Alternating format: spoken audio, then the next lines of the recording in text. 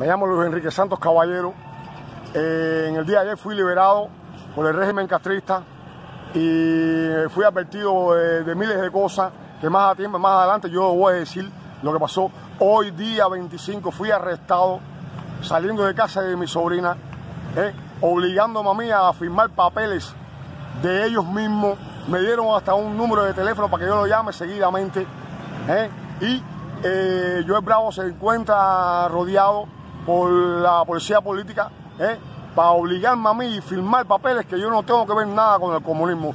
me están obligando, me están presionando, tanto a mí como a Joel Bravo, nuestro líder, por el líder 26. Me cogieron por el cuello, me maltrataron, me dieron hasta un número de teléfono para que lo llame tres veces a la semana. Yo no soy chiva, yo soy opositor. Luis Enrique Santos Caballero seré siempre opositor en contra del régimen catrista.